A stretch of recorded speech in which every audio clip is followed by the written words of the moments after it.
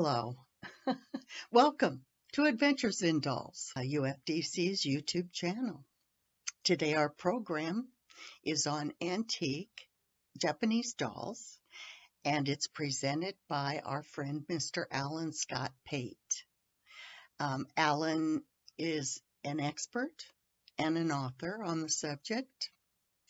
He um, studied in France, Korea, and the United States. He has a master's degree in East Asian Studies from Harvard University. He is considered to be the premier dealer and authority on antique Japanese dolls outside of Japan. He dedicated to the hidden world of Japanese antique dolls. He shares them through his gallery and his books and his other publications and his programs. So please enjoy Alan Scott Pate's fascinating world of Japanese dolls.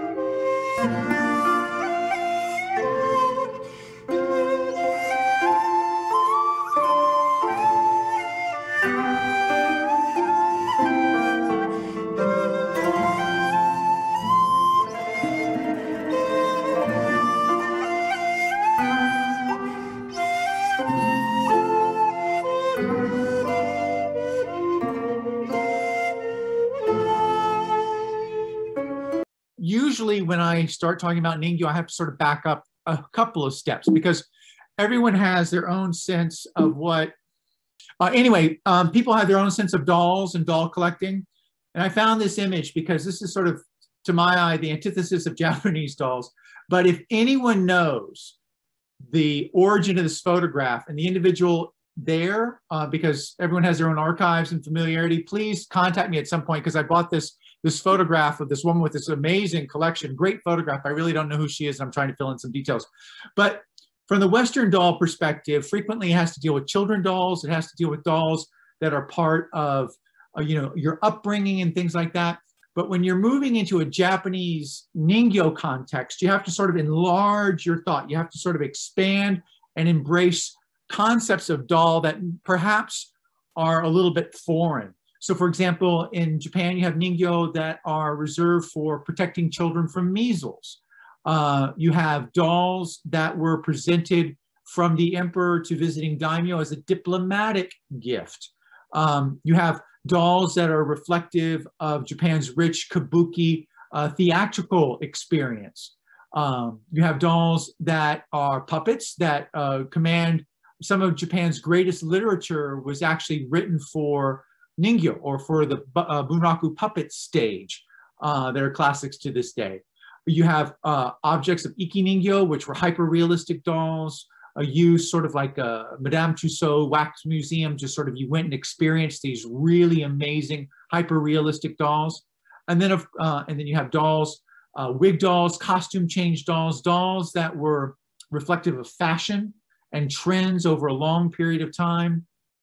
And then, of course, you have play dolls. You have dolls that were designed for children, depicting children, something a little bit more akin to the type of figure that we're familiar with or the West is familiar with as a doll. But today we're going to deal with uh, two specific doll festivals. And Japan's unique in the world in that dolls play such an important role in the culture. sort of woven very much into the woof and the weft of Japanese, the fabric of Japanese society. So we're talking about the Girls' Day display or the Hina Matsuri that takes place on March 3rd.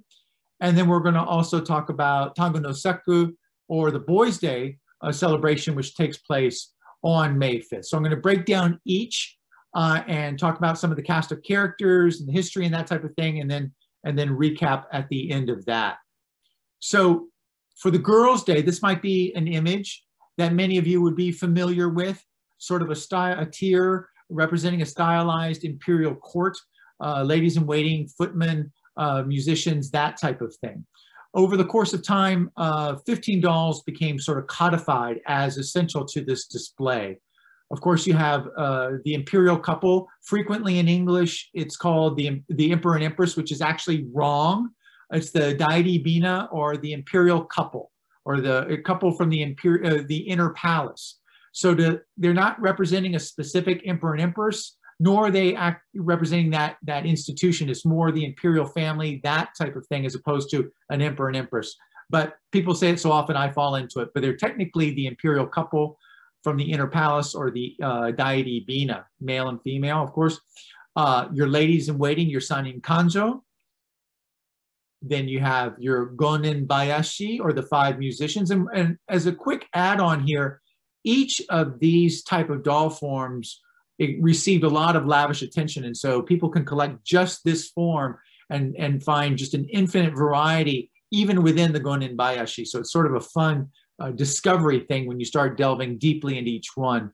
Uh, the Zuijin, or the Minister of Left and Right, uh, the Shicho, or the Three Footmen, uh, and then in expanded sets, you have, you know, ladies pulling a, a flower cart, or uh, ladies, court ladies holding a chin or chin, what they call chinbiki or a chin dog.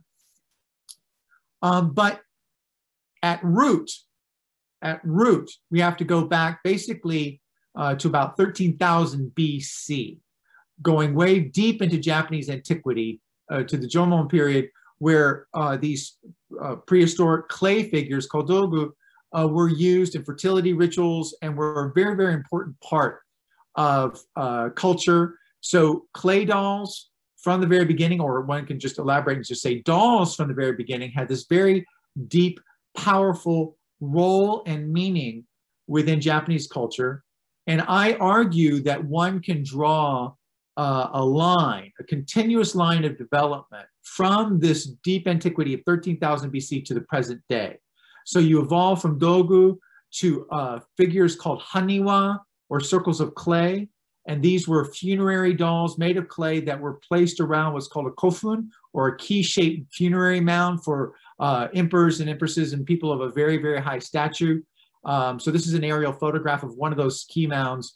And those, uh, the Haniwa figures would have been distributed around, buried in the ground around that tomb in lieu of human sacrifices.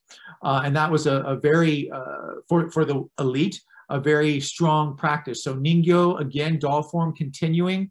Uh, as it expand, as we expand and think of more commonplace for the common man, uh, you have hitogata or human-shaped forms, uh, sticks, simple rudimentary, rudimentary stick forms that were used uh, to protect uh, cities, to protect individuals, frequently burned ritualistically or buried ritualistically. So again, this idea of the continuity of, of dolls playing a very strong um, ritual role in Japanese culture. And as we move, jump forward to the, the present day, we find vestiges of that within the Girls' Day display as it's practiced in different parts of Japan. So this is Awashima Jinja, which is out outside of uh, the greater Osaka Bay Area, uh, Wakayama Prefecture. Uh, and on my tour back in 2016 or 17, uh, I took a group of doll collectors there to actually see the ritual as it takes place at Awashima Jinja. It's a fascinating place. The, the, the, sh the shrine uh, is uh, throughout the year is receiving and collecting dolls of all shapes and sizes, of all ilk, from Ichimatsu to Hina here to other types. And they're collected throughout the year. And then on March 3rd, these dolls are ritually blessed. Uh, and then they are a token selection of them are then individually placed in these wooden boats. And then these boats, three of them are hoisted on shoulders and then paraded through the town. down to the water's edge, where further rituals and rites take place, purifying them and, and getting ready to send them off. And then they're, they're set adrift out into the ocean. Now, historically, they were set adrift and they were gone, but now because of environmental laws, they have to go back and bring them back in. Uh, but these dolls go out to sea and then they're they're lost. Now, the dolls that remain uh, that are just not in these token boats are actually burned uh, in a ritual called a kuyo. And Ningyo kuyo uh, take place uh, in many places across Japan. And this is a way, again, this ties into a very important point. And the reason why there are festivals focused on dolls is that Ningyo in Japan can serve as uh, uh, what's called a yorishiro or a temporary re residing place for spirits to come in and so after our dolls have been in the family a certain period of time, and perhaps they, they you know, the, the family uh, needs the room or the family is dying off or individuals need to get rid of the collection, rather than just selling them or disposing of them, they are ritually burned to release elements, release impurities, uh, and, and to sort of uh, act as a purification element. And that's not something that we normally would do. I don't imagine someone would think about taking their Barbie or whatever doll you collect. It's like, oh, I really don't want to sell it. I'll just burn it in my backyard. That's just not how you know we think. But within the Japanese context, it makes total sense because these things are the animus or the locus of, of uh, spiritual forces that have to be treated uh, with care and honor and respect. And so the Hinamatsuri, or the Girls' Day display that we're talking about, we'll get into detail about it more, is um, a, a single doll focused holiday in which those, those spirits come into play. Now, the form that the doll takes today also has a specific history. And so the next little bit, I want to talk about the evolution of the forms uh, that the Hina dolls take. And one of the earliest shapes that we need to focus on uh, is this that's called an amagatsu, or the, the heavenly child. And the heavenly child was placed uh, by a child's bedside. It's a rudimentary thing of bamboo dowels wrapped in silk, and then a child's clothing would be draped over that doll and placed by the child's bedside. Uh, bedside. And the belief was that malevolent spirits would not go into the doll, I mean, not go into the child, but they'd be attracted to the doll instead. So that doll protected the child by attracting malevolent spirits. Frequently, it's dressed in red, uh, things that, that actively attract uh, smallpox demons or, or, other, other malevolent forces. And a child would keep this doll uh, throughout their life. A male would burn it uh, at his coming of age ceremony, and a girl, if they had an amagatsu, would keep it their life. Um, a female, more female-oriented form is called a hoko, which is simple, again, rudimentary, rudimentary sewn silk stuffed uh, in more of a feminine shape. A hoko means a crawling baby. Uh, and so this pairing of a femaleish hoko with a more male amagatsu becomes the template of the male-female pairing of Ningyo for the Dairi or the imperial couple that, that, that formed the sort of the centerpiece of the Hinamatsuri. And so this is a very easy leap. You can see the, the, the more cylindrical shaped hoko, the more T-shaped amagatsu being translated here in what's known as a tachibina, or standing hina. And you can see behind me, there's a pair uh, right behind me of a tachibina. So initially they were done out of paper. So sometimes they were called kamibina. Uh, but over time, they became increasingly sophisticated. The textiles applied to them quite elaborate. But they are also tied in to uh, a form uh, of a paper doll called a nademono. And a nademono was used to, you would rub the nademono all over your body absorbing all the impurities, and then that, that doll, that paper doll, would be burned or set adrift or ritually destroyed to get rid of those influences. And so this, this you can see that there's this uh, inherent interweaving of doll with larger beliefs that take place. And so as we look at these forms, we can get transported by the beauty, we can get lost in their faces and textiles, but at core, there's a really strong uh, belief system uh, animating all of this. Um, so sometime in the very late 1600s, seated forms of the Dairi Bina began to be developed, again using very rudimental, using textiles that would have been uh, you know, normal clothing or brocades uh, used for silk, uh, for screen mounting or for uh, um, um, yes, screen or scroll mounting, that type of thing would be incorporated. There was no industry devoted to creating textiles specifically for the dolls. But as the dolls for, uh, doll forms changed and they continued to evolve as their popularity increased, you start finding a much more realistic interpretation of, say, like this doll showing like the Gino, uh, Juni Hitoe or the 12 layered gown of the imperial court. You can see all the layers uh, there behind her. But again, one of the, the themes of the Hina that is an interesting sort of combination is at core you have these spiritual beliefs, if you will. At core you have these really potent forces at work. But then you also have a love of luxury, a love of display, uh, a love of ostentation in certain circles. And so as the doll uh, festival on March 3rd, third day, third month became more and more popular, more and more energy, more and more money was invested in creating dolls appropriate to station and class, whether that be imperial, whether that be samurai nobility, whether that be wealthy merchant class, on down to, to the common man. Uh, and so you have this sort of a snowballing effect of sophistication within the forms itself. And uh, by the early 1700s, you have doll markets. You have atelier doll makers in the, the, the, the in Osaka, Kyoto, to, uh, Edo, Tokyo at that point, um, having uh, very elaborate shops and sales that took place just prior to the Hina Matsuri. So this is a, a very famous scroll painting uh, depicting um, uh, the, the marketplace along Nihonbashi. Uh, and this is what's called the Jikkendana, or the doll, it's the doll area of, of, of Nihonbashi. And you can see the doll shops out there with the red mosen. Uh, and this was a such a seminal event. The commercialism became such a seminal event that poems were written about it, paintings were done, not only about the dolls, but about the frenzy, the absolute frenzy around buying them and bringing them home and incorporating them.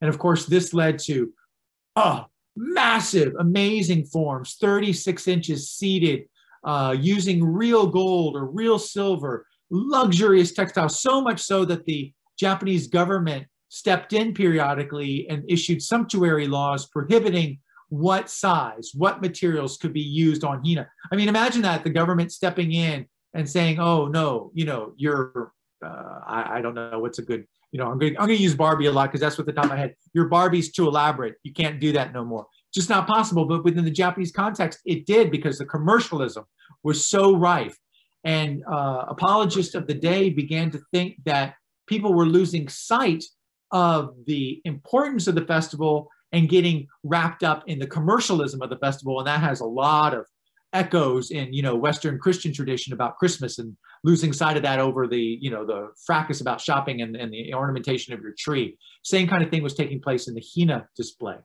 So as forms developed, you have push, counter push.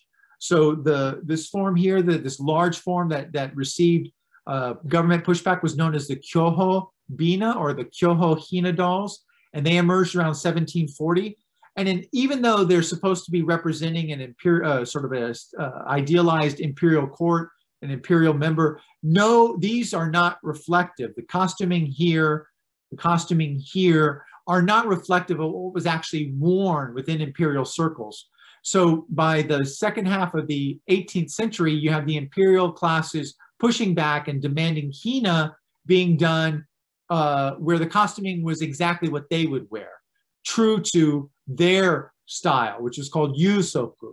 And, and there's very, various styles of yusoku, but each one is representative of an accurate, a very de rigueur accuracy in its interpretation of how imperial court wear would have been done. Formal, uh, super formal, informal, that type of thing. But the artistry of the dolls themselves uh, is never uh, in doubt. Um, for those of you who really have no idea about the Japanese doll uh, component, one small aside, the faces that we're looking at, the hands where they appear, any of the skin surfaces that we're talking about today uh, are of a material called gofun, which is a crushed oyster uh, shell and animal glue that's applied in various layer, layers, and some of the layers are carved. A finer layers serve as sort of like a porcelainous skin type of thing. Um, uh, it's uh, incredibly unique to Japanese doll culture and Japanese artistic culture to begin with. So Gofun is a, a wonderful, wonderful uh, and and and oddly uh, fickle kind of material to work with, but it's part of the magic. So her face here is a wonderful example of gofun uh, being used on a yusoku hina. So another style that evolved, uh, it was uh, the Jirozaemon uh, bina with their sort of ping pong ball shaped heads, a Kyoto style that emerged and became all the rage in the latter half of the 18th century. And then this was followed uh, very soon by the Kokin Bina, uh, which became to dominate. And actually, that's the pair that you can see behind me, uh, left and right. And Kokin means new old. There's lots of interpretations, but basically, this set the template that almost all Hina followed from there on out. It, it was a game changer uh, that emerged in the early 1800s. And from then on, it was basically Kokin or Kokin light or Kokin derivative uh, type of thing with a Yusoku component thrown in. And I have to apologize that you have to use Japanese vocabulary in describing Japanese dolls. And there's not going to be a quiz at the end, although Sally Freeman may may ask for questions. Um, so so don't worry about the names that I throw out. The whole idea here is just to sort of absorb the visuals, to just sort of get a sense of the contours of the form rather than worrying about this word or that word. What did he say? It really doesn't make any difference. It's all just a, all for fun. Uh, but the Kokin Bina here, dated box from the Meiji era, uh, elaborate headset, but also you can see on them, uh, had a wonderful play on the sleeves, uh, supplemental embroidery that depicted really wonderful forms. Here's a butterfly dancer. Uh, and again, at this point, it has no bearing on imperial court costuming. There was no court costuming that looked anything like this, but it was fantasy. It was fun. It was marketing. It was just what people wanted to display in their homes as opposed to trying to be, you know, uh, accurate uh, on any kind of you know, uh, what's the right word, you know, clothing standpoint. So uh, again, they're depicting the imperial classes. And so people frequently look at these dolls and go, huh, what's that? So we're gonna start at the top. Uh, the smudges that you see at the top are called okimayu or sky brows. And they were seen as an imperial beauty mark. Uh, frequently, they would shave the regular eyebrows and then have these two smudges higher up uh, and so they became, they were a beauty mark, but also uh, ultimately became shorthand as a signal that they, that whoever was wearing them or doll having them is part of the imperial classes. One will also notice that her teeth are completely blacked, blackened. And blackened teeth was not only a beauty thing, it was also a preservative, helped help uh, protect the teeth. And so that's also a sign of, of, of an imperial uh, uh, class component. So this is a beautiful Kokin Bina face. Again, that gofun, uh, very, very, oh, just so perfect in this e example. So frequently, um, it's difficult to know who made the dolls specifically. Uh, frequently, you have atelier um, that, that make them. Sometimes people will remove the neck and see, oh, my doll has a signature on the neck. It's like, that's not a signature, that's a size indicator. Very, very rarely is there an actual signature on the neck. It does happen, it does happen. But in this particular instance, this says size number four. So not a signature at all. But uh, Atelier, like Maruhei Okiheizo, they were suppliers to the imperial family. Yoshitoku in uh, Tokyo or Edo was also a supplier to the imperial family. And so sometimes you can find information related to the atelier that was selling the doll, uh, but because of the system of makers supplying to an atelier, it's very difficult to know uh, the actual artists, the, uh, the artisan who made who made the doll. Uh, a final form in Hina are what are called machibina or town Hina. Uh, and town Hina are interesting because you can see the doll here basically is just the head. There are no hands, there are no feet. There's this head, a crown, and this amazing textile. And once I was in the very, I was in uh, Kyushu in the southern part of Japan, uh, Oita, uh, city, and uh, I saw a sign saying world's largest Hina. And I had to go see what the world's largest Hina was. And so I ran around trying to find. I finally got there, and it was a pair of Machibina, but it was basically a doll like this, where the doll itself wasn't so big, but the sleeves were like one story tall. So technically, it was a very tall Hina, but the head was basically a normal head. So I, I felt a little let down. Although at the same time impressed because some serious, serious, you know, uh, work goes into the textiles on the Machibina sleeves, particularly on the on the female. Now, today, uh, the Hinamatsuri is very well celebrated, incredibly popular all over Japan, every nook and cranny, beginning very soon because we're here at February 22nd. Very soon, March 3rd will be here shortly, and all of Japan will be given over to Ningyo mania. Hotels will have display, department stores will have display, museums will have their stuff out. Every town will have their Hina display. And so it's a very, very fun time to go to Japan. And I'll get to that later because I have another tour coming as soon as Japan opens up again. Uh, but it's a very interesting time to go to Japan because you'll never see more Ningyo, not just Hina, but of all stripes uh, during that period. Uh, and so this is an interesting counterpoint that today's incredible vitality of the Hina Matsuri compared to its male companion festival. And I'm going to shift to that right now. So the Tango no Sekku, or Boys' Day, uh, the fifth day display, is similar in that it has to deal with Ningyo harnessing spiritual power to protect the household, purify the household for the coming year. But in the Boys' Day context, it has a little bit more of an aggressive sort of, uh, well, it makes sense for Boys' Day, an aggressive component. So early in the festival's development, uh, young boys would run around the city with sheaths of iris leaves or mugwort, and then they would beat the ground over and over and over to drive away the evil spirits. And then they would also beat each other uh, and mock warfare. Uh, all of this to, to drive out uh, malevolent influences. But over time, dolls made of iris leaves or made of mugwort were also used as talismans. And just as we saw in the Hina, simple, simple forms gradually gave way to increasingly complex, elaborate displays. And that was very much true in the Boys' Day display, where you have these woodblock prints from the period from the early 16 uh, early 1700s show us very sophisticated ningyo tableau depicting warriors from Japan's historical past that were displayed outside on the in on the fifth day of the fifth month, and people walking by would stop and ogle and oogle uh, these dolls. And some of them gained, if the woodblock prints are are to be believed, uh, significant scale. Uh, they were sometimes known as kabuto ningyo, as it says on this print. Kabuto ningyo, kabuto being a helmet, so helmet dolls. Uh, and there's a whole rationale behind that, but that would be a little little too too deep to get into today. But what is different, uh, one of the things, another thing that's different in the Boys' Day display is whereas the Girls' Day Hina were sort of symbolic, not representing a specific individual, the dolls for the Boys' Day represented very, as a general rule, very specific historical or legendary characters that formed sort of a codified pantheon of Ningyo that were displayed. Uh, tantamount was Minamoto Yoshitsune, a very uh, important medieval warrior, uh, lots of tales of daring do, uh, betrayed, die young, all sorts of wonderful details. Uh, but he is was an early, early go-to. And again, this is a great picture for the gofun. Uh, the gofun, I said, was a mixture of oyster shell and animal glue, and that's a recipe.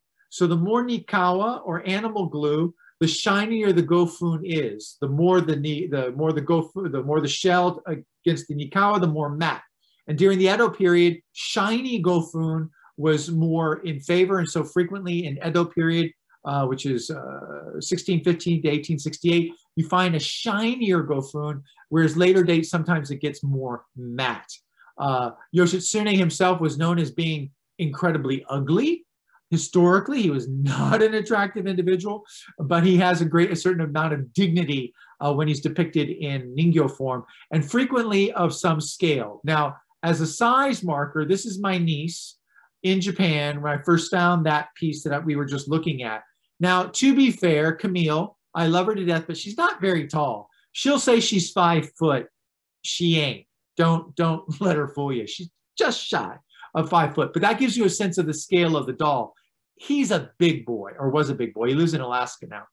So another figure uh, that is very, very interesting uh, that showed up early in this Boys' Day pantheon is Jingu Kogo. Now, Jingu Kogo is interesting because one, she this is a female warrior.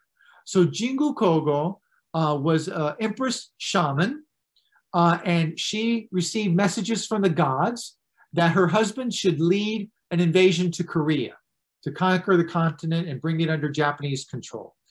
He vacillated So the gods struck him dead, and she donned his suit of armor to lead this uh, naval armada, this expedition to Korea in his stead with the gods to help her and that type of thing. Now, uh, um, again, we see that she's emperor because she has those Okimayu sky brows and blackened teeth. So this doll is therefore showing us that she's of the imperial class.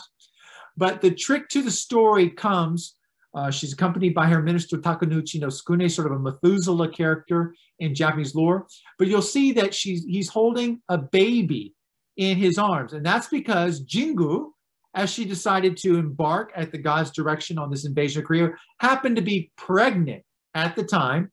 And pregnancy is inconvenient in a military operation. So she tied a girdle of rocks around her womb and delayed the pregnancy 19 months so that she could achieve her goals, come back to Japan, and give birth to the baby Ojin on Japanese shores. He, of course, becomes the Emperor Ojin later and is also a subject of Boys' Day dolls uh, down the line. Uh, so Jingu, a very, very fascinating character for so many reasons.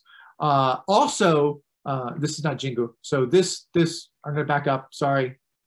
Jingu is so important because, and interesting because you also get into this whole uh, Gordian knot of Japanese Korean relations that are still not solved.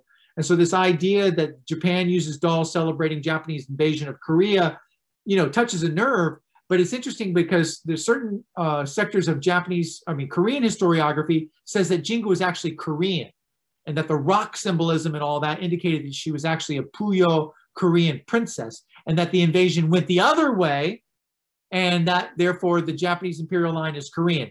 That now is a debate. That now gets some tempers going and it's an ongoing, it's, it's, it's not in the past. It's a current active uh, discussion. So uh, Toyotomi Hideyoshi, a historic uh, figure known as the Great Unifier, lived in the late 1500s, shogun, military generalissimo, successful in unifying all Japan, uh, but interestingly, prohibited as a doll form until the 1800s.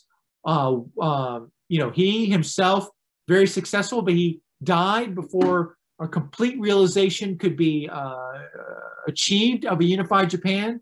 Uh, he left uh, control to his uh, underage uh, son uh, under the governance of the Tokugawa family. And so as soon as Hideyoshi was dead, they turned on the young Hideyoshi scion. and then you have the beginning of the Tokugawa reign. And they didn't like dolls depicting Hideyoshi or anything related to political events dealing with the Tokugawa. So literally, it was illegal to have a play, to have a book, to have a painting, or to have a doll depicting Toyotomi Hideyoshi until uh, the early part of the 19th century. Again, very interesting because where would we find in a, analogous in the West dolls that strictly were just prohibitive uh, because of political sensitivity? Um, as um, Japan's history moved on and we get to the Meiji Restoration, and I'm sorry, you got to talk Japanese history. It's just part and parcel to make sense of all of this stuff. With the Meiji Restoration in the 1860s, you have the emperor, the uh, office of emperor becoming the epicenter, not only spiritual, uh, but also political of the country. So beginning uh, in the middle part of the 19th century, when this whole thing was, was uh, getting steam, there was a strong focus on Ningyo that represented or supported the imperial line. So where, you know, who better than to go to Jimmu Tenno or the legendary first emperor of Japan? Now, um, this doll is huge, a very, very large scale doll. I wanted to bring it out. It's in a box, but it was just, I couldn't do Hina and him. But his belt buckle is a gold demon. It's just this really amazing, amazing set of, of uh, uh, Fugima, and Dojin, or his two assistants. Uh, just a fantastic set by Maruhei Okiheizo. Uh, but just the detail that went into this. And I realized that I was sort of getting off, sort of geeking out on Japanese doll history, but I lose track sometime of just how awesome these dolls actually are when you see them, you see the material and you see what's going on. And since I've gone on and on about Gofun so much, you might want to see how the Gofun here is slightly pigmented, that's more flesh tone. And that was a development that took place beginning in the 1850s, where they would add a little tincture to the Gofun to create a greater verisimilitude with skin tone. So beginning at that time, Gofuns frequently has a small uh, pigmented cast to it. Uh, here in Fujima, you can see that quite well on his simulated tiger pelt and giant battle axe. Rough dude. Um, and in sort of keeping with uh, this theme of, of, dolls depicting emperor, you have the Hachiman, um, Hachiman Taro, uh, who's deified as the god of war, who actually is supposedly Ojin. That little baby Ojin all grew, grew up, was celebrated as the god of war. And so this is a depiction of, of Hachiman Taro uh, in a medieval, uh, as a medieval warrior mounted on a white horse. Now, I don't know how well you can see, but that horse is carved of wood. And then the hair, the mane, of course, is silk, but the body hair is all grooved lines um, uh, within what? In Gofun. All of that white on the horse is also Gofun, but with scoured lines to simulate, simulate the fur and then inset glass eyes. So an amazing, amazing uh, rendition of uh, uh, Hachiman Taro, again by the uh, Kyoto Atelier of Maruhei Okiheizo, also not small scale. Now, my favorite, my favorite story uh, is uh, Minamoto Yorimasa. Now, one of the things that's interesting when you're looking at Ningyo is that as a pop, as because they all they're they, I mean they're forming a spiritual nexus in the doll display, but they're also a part of popular culture. So you have paintings and woodblock print, uh, you have kabuki performances, you have puppet performances, you have a lot of other cultural expressions depicting these same figures. Um, uh, and so when you are looking at them in a Boys' Day context, you have to realize that there are other uh, elements at play. Excuse me. So Yorimasa is famous for slaying the Nue. And so the story is that the emperor was having trouble sleeping. He was being terrorized at night by a demon. He called in Minamoto uh, Yorimasa to, to figure this out. And he was standing guard at the palace and he saw a shadow flying over the court and he shot his arrow in the sky and he killed the Nue. Now, the Nue is this great beast that has the head, uh, let me see, it's the head of a monkey, the body of a tiger, and the tail of a snake all together. And so this is a big uh, painting of Yorimasa slaying the Nue.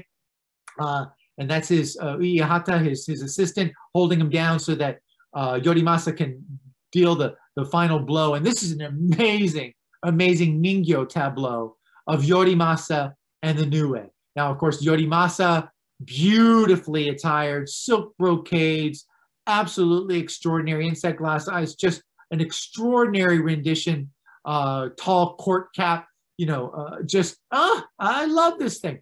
Um, Uehata, similar treatment, silk hair, uh, but also a carved component, all slaying the Nue, which is this monkey, badger, tiger, snake combo deal. Uh, there, Uehata has his hand down on the face. But when you look at the when you look at the Ningyo rendition of the Nue itself, ha ha, I love it. You, I mean, this is not a Barbie.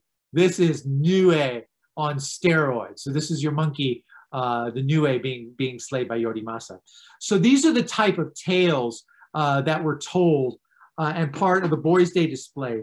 But what's interesting is that, as you've noticed, uh, most of the images, most of the doll figures for the Boys' Day are military.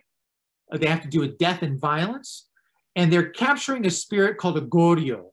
And a goryo is sort of an aggressive, angry spirit. So when you look at someone like uh, Minamoto Yoshitsune, that first character that I talked about, he accomplished amazing things, but died tragically, died unfulfilled. And so people looked at what caused him to be able to succeed in life to the degree that he did, and how angry he must be as a spirit if he didn't get to fulfill. So frequently, Musha Ningyo depict Goryo, or angrier spirits or more aggressive aspects. And that, in displaying them as dolls, you were placating those spirits and you didn't want them to run amok in society. But as a display, with this focus on militarism, Japan in the war uh, and post war had a really strong anti military backlash. So dolls depicting warriors, samurai, that type of thing, really were not in keeping with the new vibe, the new zeitgeist post-war. So literally in the post-war Japan, Boys' Day was changed to Kodomo no Hi, or Children's Day, uh, eviscerating or taking away so much of the spirit and the animus that was a part of the Boys' Day tradition from the very, very beginning, replacing it more with family activities, going to a park, fathers playing with their sons. Very benign, very, very sweet. Uh, and so more frequently today, the symbol for Boys' Day is not some warrior slaying a nue or gutting his foe or lopping off his ear and collecting his ear, which is another story for another time. But you have cart banners symbolizing male progeny, or you have children dressed up as warriors being very, very cutesy. And so, unlike the Girls' Day display, which still is very much alive and well, very much uh, consistent with historic tradition, Boys' Day today, Kodomohi, Children's Day, is nothing at all like traditional Edo period uh, Boys' Day festivals would be. So that when we look at it today, we're looking at a faint shadow of its former self. And we can all understand the sort of the political reasons why and the rationale. Uh, but from a cultural and, a, and, and from a doll standpoint, I kind of like, I kind of dig the guy with the sword. So anyway, so Chris thought that it would be good for me to talk a little bit about uh, the Japanese tours. I'm not going to go on much. Um, for for a while, I was holding a tour every other year, one in the spring, one in the fall. But then we all know what happened. COVID happened, and that's all got shut down. Originally, I was supposed to be leaving March uh, uh, 1st uh, in a couple of weeks for this tour. Uh, but clearly, since no one can go to Japan without a business visa or residency permit, and you have to quarantine, that tour is not happening. But I am hoping against hope that by 2023, that tour will be back uh, on and strong. Uh, those of you who are in the group, I know some of you actually had signed up for it. And I hope you're working with Phil because the itinerary will be the same.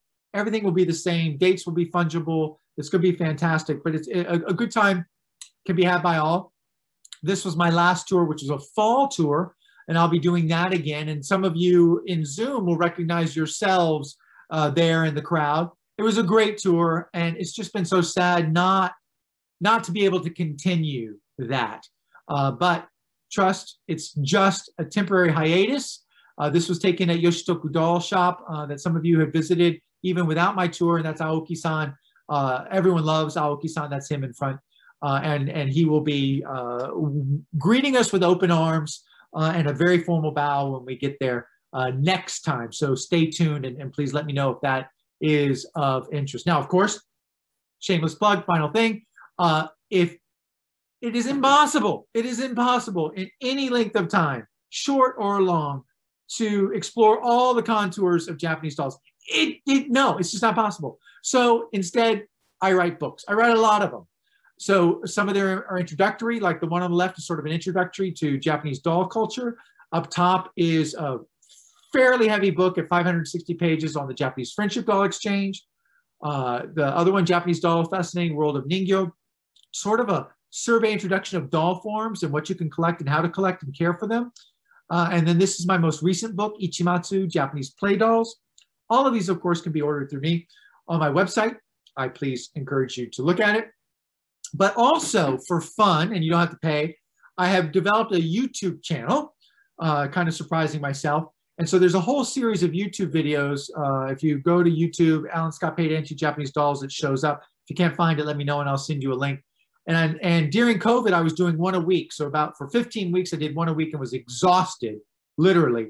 Um, but uh, took some time off. Now I've started again, did a good, better, best evaluating Ichimatsu Ningyo in February. I have a new one coming out next month. Uh, technology, we're getting more and more slick. It's kind of fun. But also, if you're interested in exploring deeply the topic today, I have a whole YouTube video just on the Girls' Day display. That was YouTube video number 12, Joshi no Sekku. And then, of course, I did one on just the Boys' Day, number 13. So if this talk tonight sort of, uh, you know, piqued your interest in any one of those, I have really in-depth videos available online for free that you can check out. Uh, so Uh, and again, if you want to contact me, there's sort of my contact thing, but I'm easily findable. Uh, Google Alan Japanese dolls, I show up pretty quickly. And that, my friends, is the end of this presentation. Hello and welcome back. We hope you enjoyed the program. Uh, we'd like to thank Mr. Alan Scott Pate uh, for his generosity and uh, and willingness to help us out and do a program for us. Um, we really appreciate his support. Um, let's see. Remember, uh, if you have any comments, we'd love to hear from you. Do you have any Japanese dolls? What kind of dolls do you have? Uh, what would you like to see us present on this channel? Also, don't forget to like, hit the thumbs up, and subscribe. Remember, no fees involved. So view in, like, and subscribe so you don't miss your next adventure in dolls. And please become a member of the United Federation of Doll Clubs. Just simply click on the link at the bottom of the page, go to the website, sign up, and when you do, be sure to tell them Karen sent you.